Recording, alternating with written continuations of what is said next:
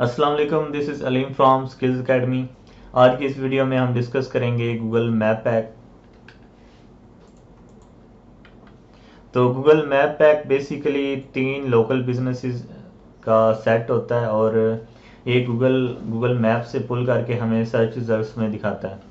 तो इसका structure search result का थोड़ा इस तरह होता है कि सबसे पहले हमें गूगल मैप्स का पार्ट शो होता है, उसके नीचे लोकल बिज़नेस रिज़ल्ट शो होते हैं। और उसके नीचे ऑर्गेनिक रिज़ल्ट शो होते हैं। तो ये एक लाइव रिज़ल्ट है, इसमें आप देख सकते हैं कि सबसे पहले मैप शो हो रहा है, नीचे तीन बिज़नेस शो हो रहे हैं और उसके बाद नीचे लोकल रिज़ल्ट शो हो रहे हैं। तो एक लाइव गूगल के ऊपर सर्च करके देखते हैं। जैसे इस्लामाबाद एस तो ये आप देख सकते हैं, ये ऊपर मैप शो हो रहा है। और नीचे ये तीन बिज़नेस तो ये मैप पैक है। उसके बाद इसको ट्रैक किस तरह किया जाता है, इसको ट्रैक आप कर सकते हैं वाइट स्पार्क से S Power Suite Rank Tracker और लोकल फाल्कन और सैम रश ये टॉप फोर टूल्स हैं। इसके अलावा भी टूल्स होंगे, लेकिन ये जो एस रिकमेंड करते हैं, ये वो टूल्स हैं।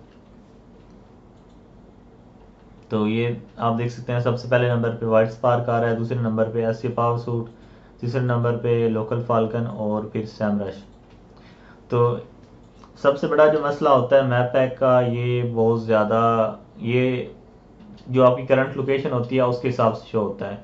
अगर फॉर एग्जांपल आप जी थर्टीन में सर्च करेंगे तो आपको वो बिज़नेस वो बिज़नेस शो होंगे जो जी थर्टीन में बेस्ड हैं।